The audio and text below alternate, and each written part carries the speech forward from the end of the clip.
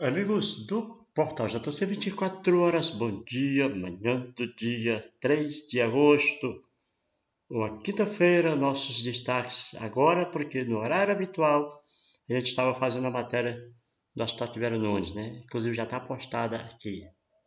Vamos aqui para os destaques do nosso JC. O detalhe, é, eu estou agora é, saindo do, do, do, do WhatsApp aqui para evitar que as pessoas que me mandem mensagem quando eu estiver ao vivo apareçam seus nomes. Então, vocês podem ficar tranquilos que é, eu não fico mais com com o WhatsApp no notebook durante as postagens ao vivo, exatamente para que as mensagens que eu receba não, não sejam as pessoas identificadas, certo?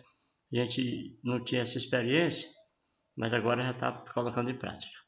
Então vamos aqui para os destaques. Você que quiser mandar qualquer mensagem, fique à vontade, que eu não estou conectado aqui no notebook. Vamos aqui para o primeiro destaque. Moradores do São Cristóvão né, reclamam de poluição no Rio Parnaíba pela GESPISA e a empresa esclarece a situação. Né? Você ouviu o que diz o Neto Saraiva na entrevista. Vamos aqui para o nosso segundo destaque. Coordenador da Despesa fala ao JC 24 horas sobre a falta de água no município de Itaueira. Recebi algumas reclamações lá daquela minha querida cidade de Itaueira.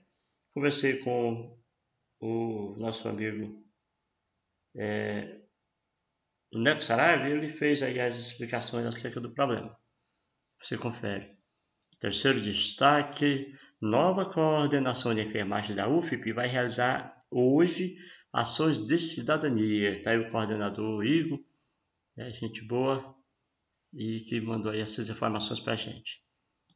Vamos aqui para o quarto destaque. Missa de sétimo dia do Rizomar Sanfoneiro. Será hoje, a missa do nosso saudoso amigo Rizomar. Quinto destaque. Acidente envolvendo duas motos deixa quatro pessoas feridas.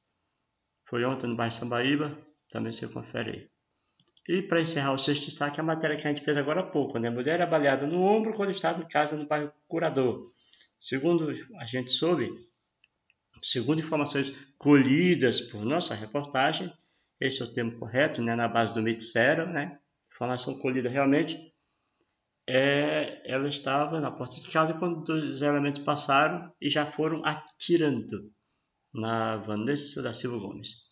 Esses os nossos destaques, nós vamos encerrando por aqui. Muito obrigado a cada um de vocês, que Deus abençoe a todos nós.